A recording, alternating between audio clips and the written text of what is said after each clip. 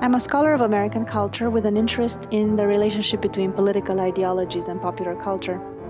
In my research, I have found that American identity today is strongly tied to an image of capitalism crafted and advertised by the Ad Council and American corporate interests over decades, often with the support of the US government. In 1942, a group of advertising and industry executives created the War Advertising Council to promote the war effort. Renamed the Ad Council in 1943, the organization applied the same wartime persuasive techniques of advertising and psychological manipulation during the Cold War years.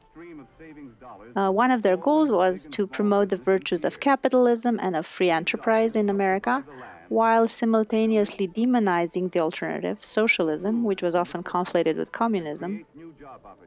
Between 1949 and 1952, Metro Goldwyn Mayer distributed them in theaters, schools, colleges, churches, and workplaces.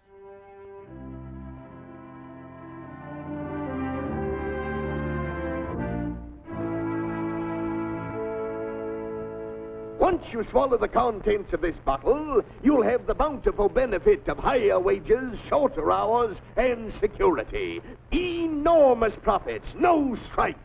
Remember, you're the big boss. Government control, no worry about votes. Name your own salary. Bigger crops, lower costs. Why, ISM even makes the weather perfect every day. I hereby turn over to ISM Incorporated everything I have, including my freedom and the freedom of my children and my children's children, in return for which said ISM promises to take care of me forever. You know, including my freedom. Freedom? What? Sign away my freedom? Why, this is ridiculous. We've built a country under the American system that sends more young people to high school and college than all the rest of the world combined. Why, even in the Depression, our wages bought more food, clothing, travel, and entertainment than the wages of any other people in the world. Before signing up, you boys ought to try a little taste of Doctorism's formula to see what you'd get in exchange for your freedom. Go ahead, try it.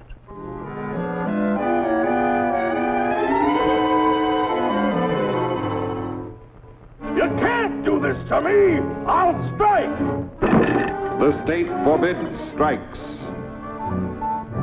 Wait till the union hears about this!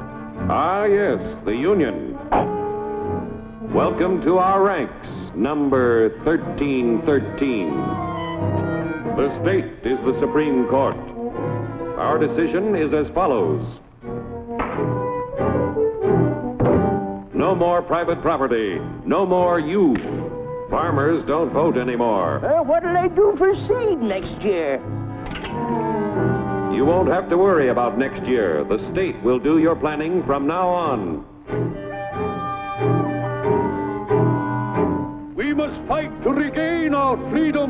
Freedom, or everything is lost. Everything. Everything is fine. Everything is fine. Everything is fine. Everything is fine. Everything is fine. When anybody preaches disunity, tries to pit one of us against the other through class warfare, race hatred, or religious intolerance, you know that person seeks to rob us of our freedom and destroy our very lives. Service.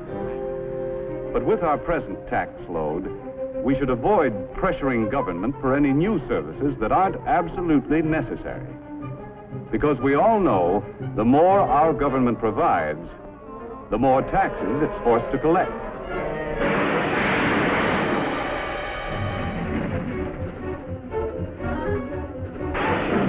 None of us can escape.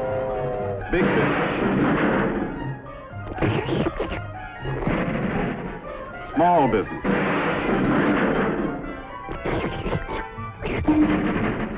Farmers.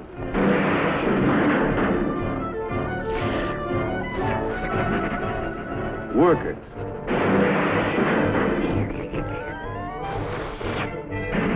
Housewives and all of us have to pay our share.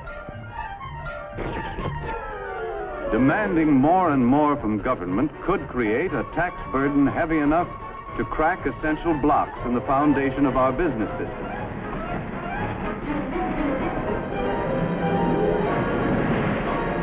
In the future of our country, waves of destructive forces will continue to batter against our foundation. When any force weakens the interlocked blocks of our political and economic freedoms, as good citizens, we must be quick to use the tools our Constitution gives us and repair any cracks that may appear.